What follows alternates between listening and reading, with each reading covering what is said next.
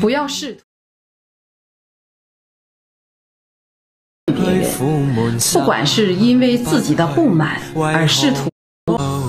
不要试图去改变别人，不管是因为自己的不满而试图改变你的伴侣，或者想要改变你的父母。甚至因为别人的价值观跟你的不一致，而想让他们做你觉得应该的事情。我们不能改变别人，我们只能经由自己生命状态的改变，去创造一个让改变发生的空间，创造一个让改变发生的能量场。检查我们自己的信念，我们是否希望通过改变他人来更好的满足自己，让。自己过得更舒适快乐，没有人能够去改变另一个人。